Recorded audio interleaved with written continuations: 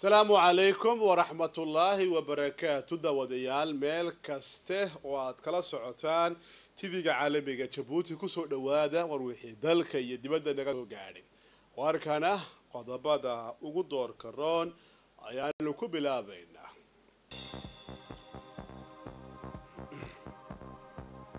Madaxweynaha jamhuuriyadda ayaa waraaqaha aqoonsiga safiirnimo ka guddoomay diblomaasiyiin cusub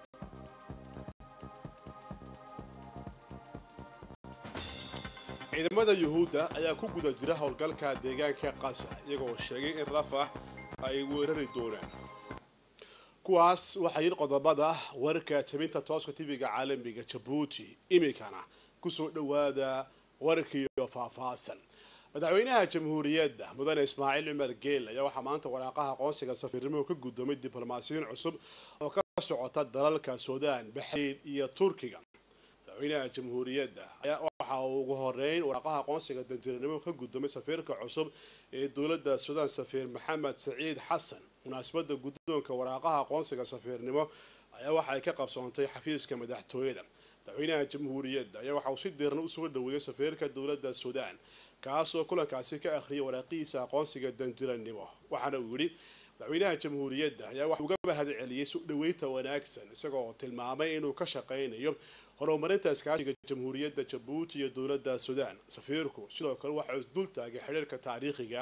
ee u dhexeeya xukuumadda iyo shacabka jamhuuriyadda jabuuti iyo sidoo kale dalka suudaan waxaana wata ka xariiqay dardargelinta cilaaqaadka lageesoodka labada dal jamhuuriyadda jabuuti iyo sidoo kale dalka suudaan waxaana safiirku uu si gaara u tilmaamay in dowladda jabuuti oo hogaanka u haysa urur goboleedka igaad ay door weyn ka ciyaarto adkeynta amniga iyo xasiloonida degmada geeska africa taas oo uu guulo hor leh ka gaadhay buu yihi madaxweynaha jamhuuriyadda president ismaaciil cumar geel.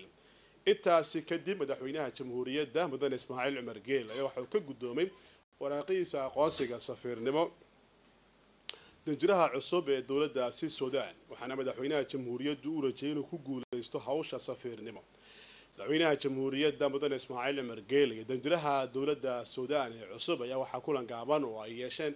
si gaara uga wada hadleen iskaashiga jamhuuriyadda jabuuti iyo sidoo kale dalka suudaan. Kulankaasi madaxweynaha jamhuuriyadda ayaa waxa uu si gaara hoostara xariiqay in dowladda jabuuti ay ka go-an tahay taageerada shacabka dalka suudaan si xal waara looga dhaliyo dalkaasi oo loo joojiyo colaada ka taagan dalkaasi suudaan madaxweynaha jamhuuriyadda mudane ismaaciil cumar geel ayaa waxaa sidoo kale waraaqaha aqoonsiga danjirnimo ka guddoomay safiirka cusub ee dowladda turkiga safiir erdal sabri ergin. Madaxweynaha jamhuuriyadda ayaa waxa uu si diiran u soo dhaweeyay safiirka cusub ee dowladda turkiga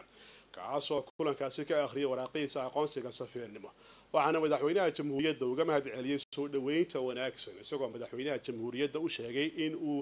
salaan uu ka sido madaxweynaha dalkaasi turka rasib tayyib erdogan uu gudbinayo madaxweynaha jamhuuriyadda safiirka dowladda turkiga ayaa waxaa kulankaas sidoo kale isdul taagay iskaashiga wanaagsan ee taabanaya dhinacyada kala duwan ee u dhexeeya jamhuuriyadda jabuuti iyo dalka turkiga.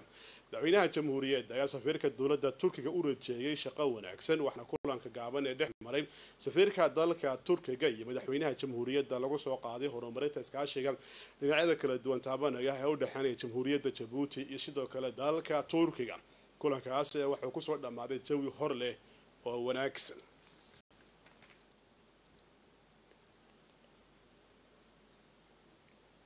madaxweynaha jamhuuriyadda mudane ismaaciil cumar geel ayaa waxaa sidoo kale waraaqaha aqoonsiga dandiranimo uu ka guddoomay maanta safiirka cusub ee dowladda baxreyn sheekh cali bin cabduraxmaan madaxweynaha jamhuuriyadda ayaa waxa uu si dhiiran usoo dhaweeyay safiirka cusub ee dowladda baxreyn iyadoo munaasabada guddoonka waraaqaha aqoonsiga safiirnimo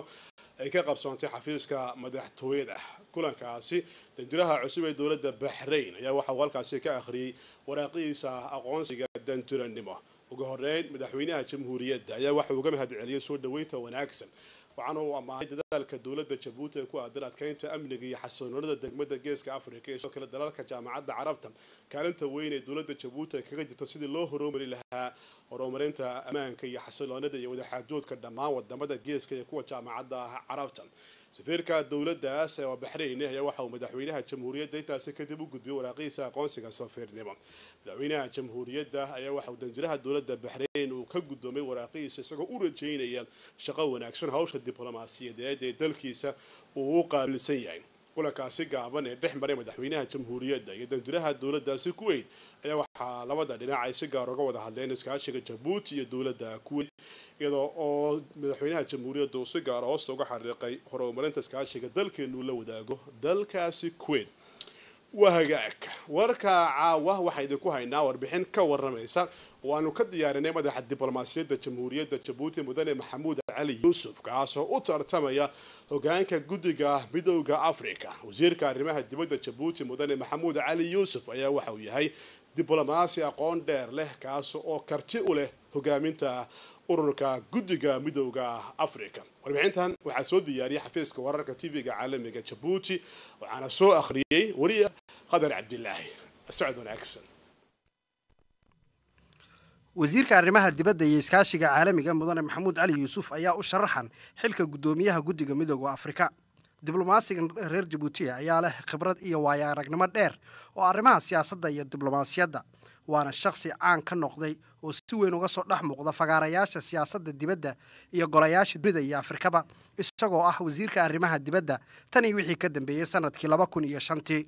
Siddeed iyo konton jirkan ayaa leh taariikh dheer oo xagga shaqadiisa isagoo ka mid noqday wasaaradda arrimaha dibadda ee jabuuti. Sanadku markuu ahaa kun sagaal boqol labayo sagaashankii waxbarashadiisa hoose dhexe iyo heerka sareba waxa uu ku bartay dalka waxa uu sidoo kale waxbarashada heer jaamacadeed uu ka qalin jebiyey jaamacad ku taala dalka faransiiska isagoo shahaadada koowaad ku qaatay cilmiga luuqadaha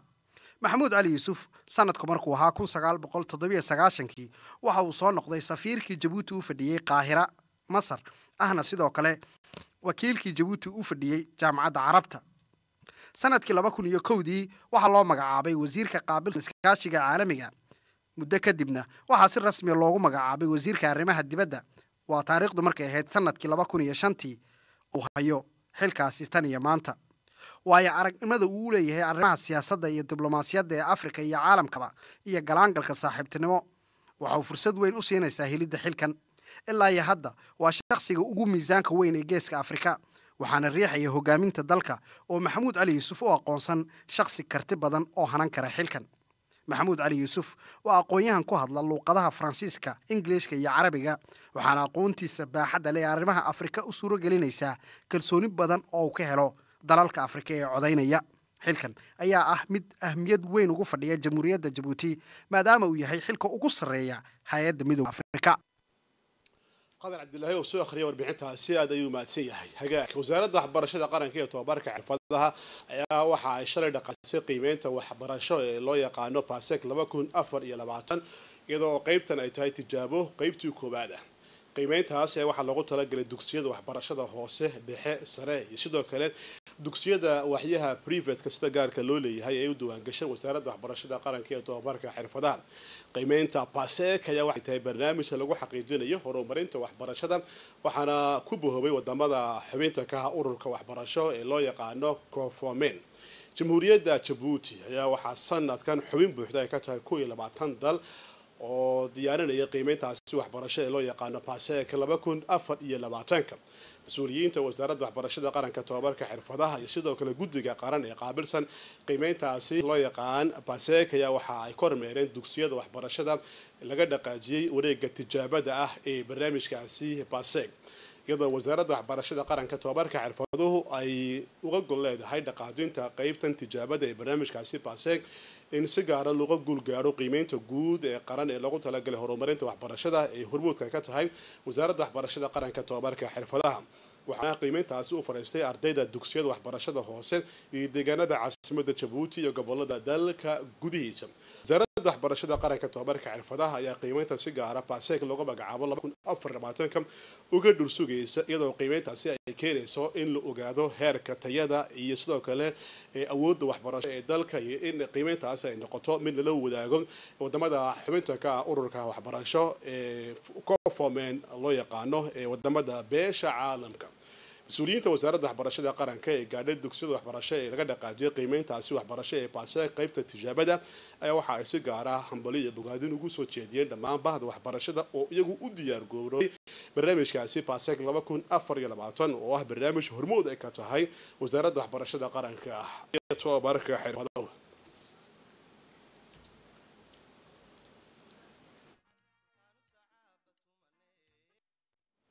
agaasimaha waxbarashada mudane cabdi dirir oo warbaahinta waraysi siiyey ayaa waxa uu ka warbixiyey barnaamijka qiimeynta baaseeg ee ay ku howlan tahay wasaaradda waxbarashada qaranka iyo tobabarka xirfaduhu waxaana ka mid ah waraysigiisa sida tan. Maanto bisha hadda ay tahay bisha abriil afar iyo tobankeedii wasiirka tacliinta iyo xirfadaha mustafa maxamed maxamuud wuxuu hindiisay bilaabista tijaabada qiimeysta loo yaqaano baseg waa hindiso la tijaabinayo xagga waxbarashada ardayda fasalka labaad dhigato ardayda fasalka shanaad dhigato iyo ardayda fasalka sagaalaad dhigato. Ujeedada laga leeyahayna waxa weyaan in wadankeenu uu ka qayb galo tijaabista loo yaqaano baseg wadanada africa o dhan ay ka qayb galaan si loo qiimeeyo halkan ka joogno waxbarashadeena. Kolka wasiirku wuxuu aad iyo aad halkan ugu soo ballaadhiyey ugu soo gudbiyey in ay tijaabistaasi ka qayb galaan ardayda macalimiinta directeur de koolka iyo waalidadaba si loo gaadho utiigan protocoolka lagu marayo si loo tijaabiyo oo wixii ka dhafaqtiran hodhow loo hagaajiyo. Waa hagaag ururka ay ku bahoobeen xubnayaasha golayaasha deegaanada caasimada jabuuti kuwa gobollada dalka gudihiisa ee lagu magacaabo a n c l d ayaa waxay soo qabanqaabiyeen geedi ay ku marayaan gobollada dalka gudihiisa haddaba xubnaha ururka maamul goboleedka ee a n c l d ayaa waxa ay gaadheen magaalada xarun goboleedka tajoora waxaana halkaasi kusoo dhaweeyey mas-uuliyiinta gobolkaasi tajoora xagga prefectuurka ee sidoo kale kuwa maamul goboleedka magaaladaasi xarun goboleedka tajoora ayaa waxay martigelisay shir howleed ballaaran oo lagu soo bandhigay horumarinta waxqabadka maamul goboleedka iyo sidoo kale wacyigelinta bulshada iyadoo uu la dardargelinayo adeegyada maamul goboleedka jabuuti barnaamijkan ayaa waxauu yahay mid midowda yurub uu maalgeliyay iyagoo kaashanaya ururkaasi a n c l d ay ku bahoobeen xubnaha golayaasha deegaanadu kulankaas ayaa waxaa gudoomiye gudoomiyaha ururka a n c l d waxaana u joogay barifiiqa gobolka tajoora mudane maxamed xumed cabaas iyagoo ay ka qayb qaateen mas-uuliyiin ka socday wasaaradda qaranka u qaabilsan ballaadhinta maamulka kulankaasi xubnaha ka qayb qaatay ayaa waxay ka wada doodeen sidii loo dardargelin lahaa adeegyada golayaasha deegaanka gaar ahaan mashaariicda ay qabtaan ee ku aadan howlaha qaranku uu u egmay waxaana mas'uuliyiinta golayaasha deegaanka heer gobol ee gobolkaasi tajoora iyo kuwa ka socda deegaanada caasimada jabuuti mar kale ay isdul taageen in ay guulo laga gaadhi horumarinta wada shaqaynta laamaha kala duwan ee bulshada rayidka iyo sidoo kale golayaasha deegaanka iyadoo la dardargelinayo iskaashiga u dhexeeya waxaana kulankaasi ka hadashay faatuma yuusuf cabdallah oo ka socotay wasaaradda qaabilsan ballaadhinta maamulka taas oo si gaara isku dultaagtay ahmiyadda kulankaasi ay iskugu yimaadeen xubnaha ururka golayaasha deegaanku ay ku bahoobeen ee a n c l d faatuma yuusuf cabdallah ayaa waxa ay ka warbixisay dadaalka dowladda jabuuti ee ku aadan horumarinta golayaasha deegaanka iyo ballaadhinta maamulka iyadoo hawshaasi ay hormuud ka tahay wasaaradda qaranka u qaabilsan arrimaha la xidhiira ballaadhinta maamulka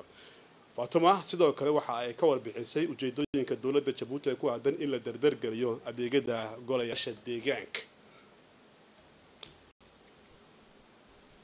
Gudoomiyaha golaha deegaanka degmada bulcawsta mudane cabdulqaadir iimaan oo kulankaasi ka hadlay ayaa waxa uu ka warramay geediga ay gobolkaasi tajoora ku gaadheen gudoomiyaha degmada bulcawsta ayaa waxa ugu horeyn mas-uuliyiinta gobolkaasi tajoora uga mahad celiyey soo dhaweynta wanaagsan waxaana ku dheeraaday xoojinta wada shaqaynta ka dhexaysa mas-uuliyiinta golayaasha deegaanka deegaanada caasimada jabuuti iyo gobolada dalka gudihiisa waxaana sidoo kale gudoomiyaha degmada bulcawsta mudane cabdulqaadir iimaan uu hambalyo usoo jeediyey gudoomiyaha ururka ay ku bohobeen gudoomiyayaasha deegaanada caasimada jabuuti iyo gobolada dalka gudihiisa ee loo yaqaano a n c l d. Waxa uu tilmaamay in gudoomiyaha ururkaas uu yahay mid howlkar ah oo gutay waajibaadka shaqo ee ururkaasi u egmay mudane cabdulqaadir iimaan gudoomiyaha degmada bulcawsta ayaa ugu dambeyn tilmaamay in urur tan iyo markii la asaasay had uu gaadhay guulo hor leh oo la taaban karo. Warka caawa waxaa idinku haynaa sidoo kale warbixin ka warramaysa habeynta casriyeynta iyo ballaarinta lagu sameeyey dariiqa r n sank gobolkaasi cali subax kaasoo kor u qaaday socodka gaadiidka iyo sidoo kale duunyada iyo dadkaba. Maxamed cabdi ayaa soo akhriyay warbixinta waxaana soo diyaariyey xafiiska wararka tv-ga caalamiga jabuuti wanaagsan.